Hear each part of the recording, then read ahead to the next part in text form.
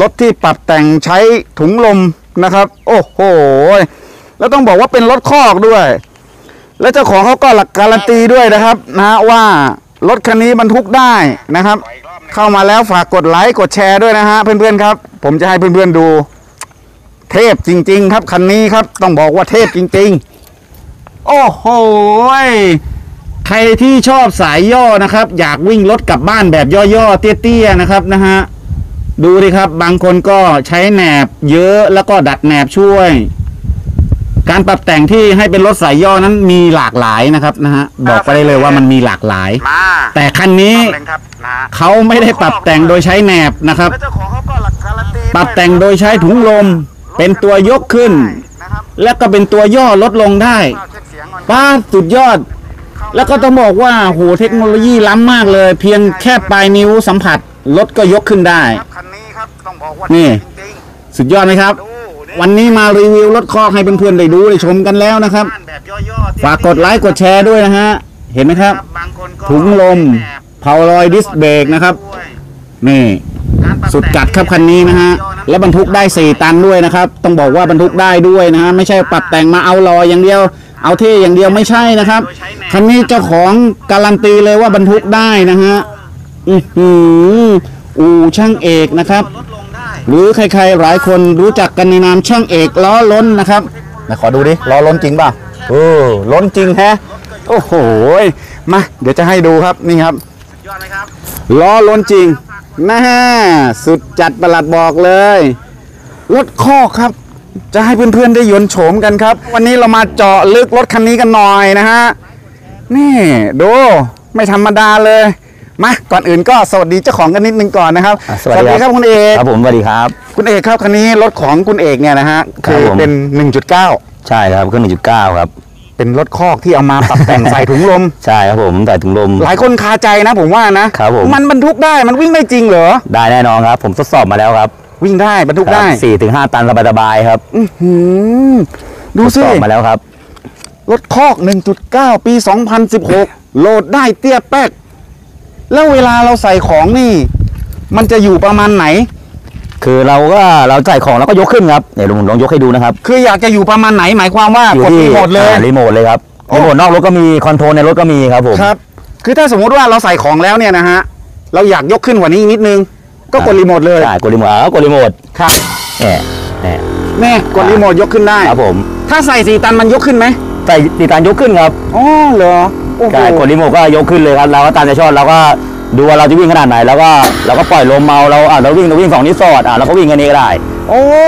รถหนักก็คือวิ่งแบบสูงๆได้วิ่งแบบเตี้ยๆได้ได้ครับผมป๊าดคัดแท้ แต่เราก็ต้องดูว่าน้ำหนักมันเยอะน้ำหนักมันเยอะเราก็เราก็ต้องเติมลมในถุงให้มันเยอะหน่อยเพราะก็เหมือนลมยางรถนี่แหละครับผมถ้าเราเติมลมอ่อนปุ๊บล้อมันก็จะเบนอ่าแต่ถ้าเราใส่สีตันปุ๊บเราก็อาจจะเติมลมมันจะมีเกณฑ์ที่หน้ารถบอกครับผม เราก็ดูตะเกียร์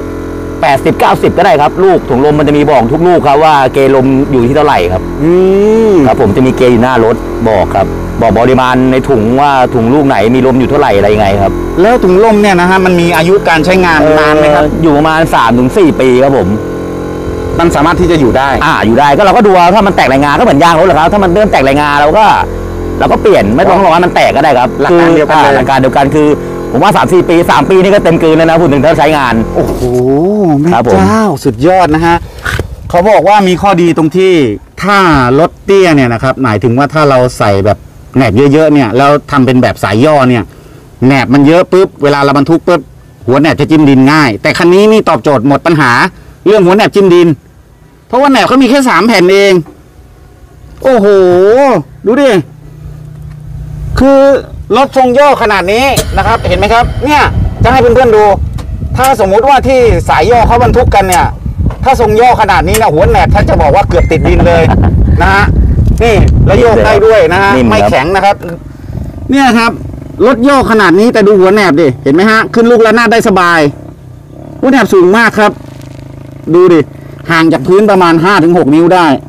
เออ แปลกเหมือนกันนะครับ ผมเคยเห็นนะครับที่เขาปรับแต่งใส่ถุงลม แต่ก็เห็นมีแค่ลูกเดียวข้างละลูกนะครับ คันนี้อะเดี๋ยวผมจะมุดใต้ท้องให้ดูนะฮะว่ามีกี่ลูกคันนี้ มานี่จะมุดใต้ท้องให้ดูเลยครับ ว่าคันนี้เขามีกี่ลูกครับ ยกขึ้นหน่อยไหมพี่อะยกขึ้นหน่อยนะฮะโอ้ต่ำเหลือเกินครับทรงเตี้ยสวยมาก มาครับ ขอมุดให้ดูนะครับนี่ครับ โอ้โหทุกลมสี่ลูกครับบรรทุกได้นะฮะเห็น ไหมครับนี่บรรทุกได้ ถุงลมข้างหลังหนึ่งข้างหน้าหนึ่งก็คืออยู่ข้างล้อเนี่ยนะฮะข้างเพลาเนี่ยหน้าเพลาหนึ่งหลังเพลาหนึ่งนะครับ แล้วเขาก็จะมีชุดปรับแต่งของเขานะฮะให้ดูครับด้านนี้ก็เหมือนกัน หลังหนึ่งลูก หน้าหนึ่งลูก สามารถยกรถหนักได้สบายๆพูดง่ายๆว่าถ้ารถหนักนี่อยากจะวิ่งทรงเตี้ยขนาดไหนนี่จัดได้เลยนะครับ โอ้โห สุดเจ๋งมากเลยอะ ดูดิ ใส่ถุงลม โอ้โหนี่เจ้า ผมก็เพิ่งเคยเห็นนะครับ คันนี้ต้องบอกว่าเป็นคันแรกเลยนะฮะ ที่มีโอกาสได้พบได้เห็นแล้วก็เลยขอรีวิวซะหน่อยนะฮะแม่เจ้า ราคาเท่าไหร่สำหรับชุดนี้นะฮะ คุณเอกครับ ชุดนี้ประมาณราคาเท่าไหร่ เออเริ่มต้นที่ห้าหมื่นบาทครับผม ประมาณห้าหมื่นบาท อ่าใช่ครับผมเริ่มต้นครับราคาเริ่มต้นถ้า ห้าวาล์วอยู่ที่ห้าหมื่นแต่เป็นเจ็ดวาล์วนี่เอ้ยเก้าวาล์วจะอยู่ที่เจ็ดหมื่นบาทครับ อืมสุดยอดเลยจะได้อุปกรณ์ครบเลยครับถังลมสแตนเลสปั๊มสองลูก remote control ครับ แล้วก็ gauge digital ในรถอืม control ในรถอะไรเงี้ยครบหมดทุกอย่างคงั้นขอดู option ข้างหน้ารถหน่อยได้เปล่าครับเป็นแบบได้ไหนอย่างไรนะฮะ เดี๋ยวผมขอขึ้นด้านนี้นะครับ ขอดูด้านนี้นะครับหูยต้องบอกว่าสุดจัดเลยอะย่อได้ยกได้เจ๋งมากนะรถคอกไทยแลนด์นั้น โอ้โห เดี๋ยวนี้เขาล้ำกันมากเลยนะครับ นี่ครับนี่ครับมีมันอะไรจะมีบ้างครับต้องอธิบายให้ฟังหน่อย จะมีรีโมทรีโมทให้นะครับ แล้วก็จะมี gauge digital นะครับ จะบอกปริมาณลมในถุง ล้อหลังซ้าย อืมหน้าล้อหลังซ้ายขวา อืมหน้าขวาหลังขวาแล้วก็บอกปริมาณลมในถังว่า ตอนนี้เราถังเรามีลมอยู่เท่าไหร่ครับเนี่ยอ่าครับแล้วจะมี control ในรถให้อีกครับเนี่ยถ้าเราไม่ใช้รีโมทเรานั่งอยู่รถเราใช้ control ในรถก็ได้ครับ ขึ้นลงได้ครับ นี่นี่นี่ขึ้นลงได้ครับกด control ในรถก็ได้ครับถ้าเราไม่ใช้รีโมทโอ้โหปลายนิ้วสัมผัสใช่ครับผมเนี่ยปล่อยลมเนี่ยครับโอ้ gauge มันก็จะลงมาเนี่ยเห็นไหมครับ เราก็จะดูเนี่ยเนี่ย gauge จะลงมาถ้าเราปล่อยลมมาก็เหลือศูนย์นี่รถเตี้ยๆครับนี่เนี่ยแล้วก็ปล่อยนะครับ มันจะคุมลูกหน้าลูกหลังครับเนี่ยลูกแยกลูกคันลูกมันนะครับสี่ลูกก็จะมีสี่ตัวอือฮึ เราก็ปล่อยลูกลูกไหนลูกไหนได้หมดครับ คือคอนโทรลได้หมดครับ ผมขอครับ ถามหน่อยคุณเอกครับผม เพราะเหตุใดทำไมต้องชอบไม่เหมือนใครด้วยครับ เราก็เราทำช่วงล่างแล้วเราเป็นช่างแล้วเราก็อยากอยากจะแหวกแหวกแนวหน่อยครับว่า มันอยากแหวกแนวอะครับ อยากจะตอบโจทย์พวกวัยรุ่นวิ่งเตี้ยนิ่มด้วย ไม่แข็งใช่ไหม อ่าใช่ อืมไหนไหนลองยกขึ้นประมาณนิ้วหนึ่งไหนลองโยกรถให้ผมดูหน่อยได้ดิครับว่านี่ได้เป็นครับยังไง นี่ครับ เดี๋ยวจะให้เพื่อนๆดูนะว่าเขาโยกรถได้ไหม ถ้าเป็นแหนบนี่ถ้าแข็งแล้วก็แข็งเลยนะครับนะฮะ อ่าเนี่ยนิ้วเดี๋ยวนิ้วอันนี้สอดนะครับนิ้วสอดนะครับานิ้วสอดนี่ครับจะให้ดูครับเพื่อนๆดูนิ่มนะครับเห็นเนี่ยไหมครับ โยกได้นะครับครับผมนี่ดูดูดูนะฮะสุดยอดครันะบคผรับมเห็นไหมครับ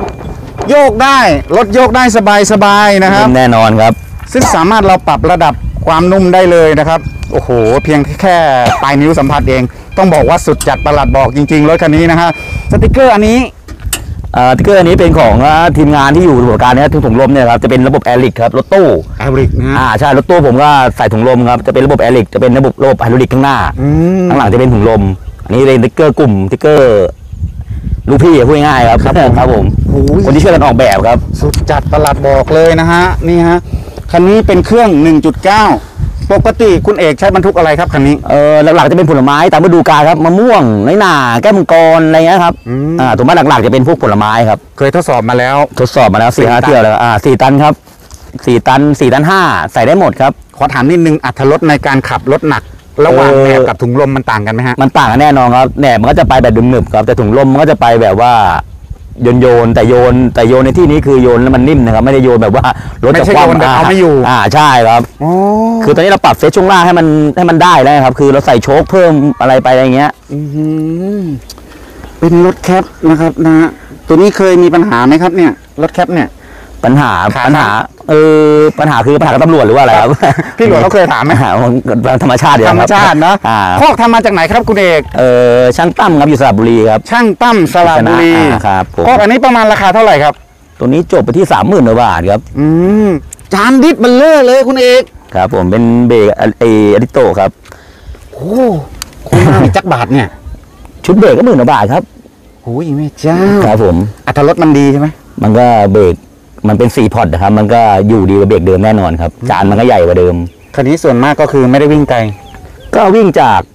ปากช่องไปตลาดไทยสี่มุมเมืองอะไรเงี้ยครับอ๋อ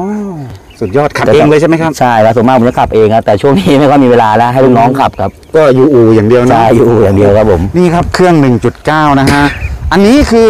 อันนี้จะเป็นออปชั่นเสริมครับ คือเวลาเรายางรั่ว หรือว่าจะเป่ากงเป่ากองครับ